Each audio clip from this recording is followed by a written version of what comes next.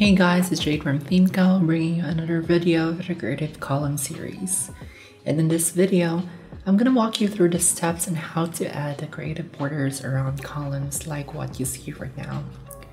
And also, I'm going to cover the CSS way to animate the borders around it when you hover to the column.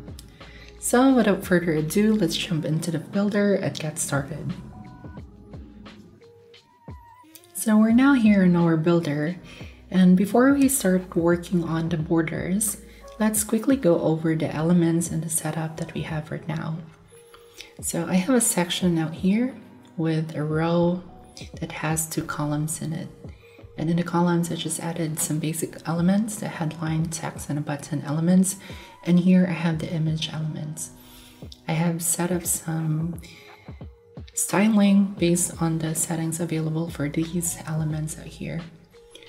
So since we will just be creating the borders in one column for now, we're gonna add them in the element CSS that will be found in the column settings. So let's get started in doing that.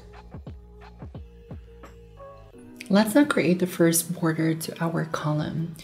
For this setup, we will be using purely CSS to add those borders. And we're going to use the element CSS that will be added to our column to add those border frames. So let's add a first one. So let's go to the column settings, customize an element CSS. And let's start writing our CSS code.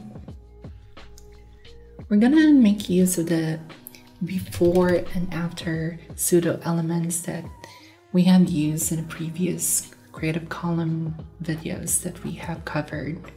So we're gonna have the content. Then let's set the width to 100%, the height to 100% as well. Then let's make sure that it will be displayed block. And so what you can see, it was pushed down because we have set it to block. And let's set the positioning to absolute.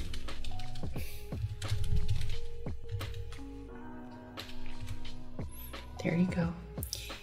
We still cannot see it, so let's try adding a background color to this.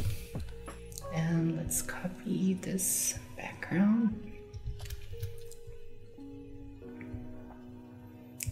Nice.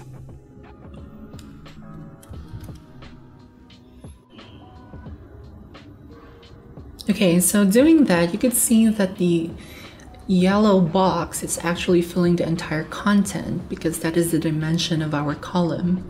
So our goal now he here is we have to set the background color of this div to transparent and actually just put the solid color, which is in this case a yellow color, as the border. So let's set this to transparent. Then border around 18 pixels, solid, and the yellow color. So there you have it. And let's play with the width and height values. For the width, let's just say we're gonna have 80% um, and then the height is also 80%. So what I keep typing. 800, so maybe increase the height to around 90. And then let's nudge the border box higher. So we could put top to negative 20 uh, let's do a bit more. 50 60 maybe 65 so that's it. We now have our first border box around it. Let's now add the second one. We've used the before pseudo selector now we're going to use the after pseudo selector so let's put $el then after and actually, we could just copy and paste the codes here. But the difference is, we're gonna set the background color to the solid color that we have and then remove the border. And then we're gonna play around the values of the positioning, which is the top. Let's try to say this is gonna be bottom. And we will need to push this to the right. So let's put in right, let's say zero. Let's close that.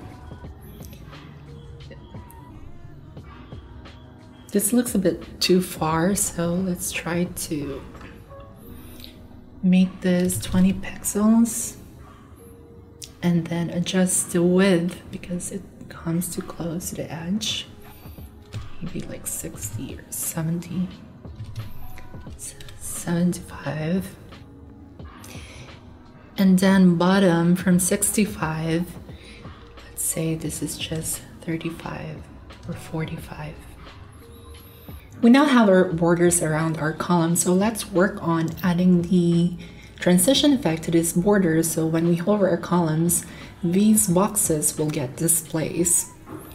So to do that, we're gonna target the column first, and when it gets hovered, the pseudo element will take all the properties we'll put in this block. So what we're going to adjust is simply the top and left values. So currently the top area should just be here, but then we pushed it up, so we put in negative 65 pixels. So what we want to do right now is kind of displace it closer to the inner area. So we just have to decrease the value of our uh, top property. So for that, let's put in top maybe lessen it by 20 pixels so we get negative 45 pixels. And we could preview that. It's a good value and then the left currently the left is set to zero. And I want it to go closer to the image. So we're gonna have to put in positive value so that it will go to the right. So left that would be maybe 15 pixels or let's put in 20. Okay, that should be enough. And right now it's kind of harsh, the hover animation, because we didn't put any transition property yet to our initial state of our pseudo element. So what we're gonna do is put in transition. Then the property that we will animate, let's set all. Then the duration, let's put in 0.8 seconds. And then the timing function, so let's put in ease-in-out. So when you hover it, the transition is now smoother and not the harsh displacement of this box. Now let's work on the second box which is the after pseudo element. So let's put an EL over then after. The same as the previous one, we just have to play with the bottom and the right um, property values to kind of displace the um, second box. So from bottom, the zero value should just be here and that will be covered by the image. So we can just decrease the bottom value from negative 45 to maybe around 25. That's too much, so maybe 30 will be okay.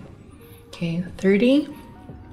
And then the right is it is currently pushed to 20 pixels from the right, pushing it to the left. So let's increase that to maybe 10 more pixels. That would be 30 pixels. Maybe a bit more, 35. Oh, let's make it 40. Okay, that's a good value. And for it to have this smooth transition effect, we can just copy this line of code, then put it in the after pseudo element. Now when we hover to our column, the boxes get get animated. And you could do more animation for this. Uh, you could try before using the transform property and rotate rotate it to maybe 20 degrees and it will rotate so and you could do all that but for now we will just settle with the top left bottom and right values. But just know that that is possible as well. And yeah that's it. So with these few lines of code that we have added to our element CSS, we're able to have this creative column effect to our column.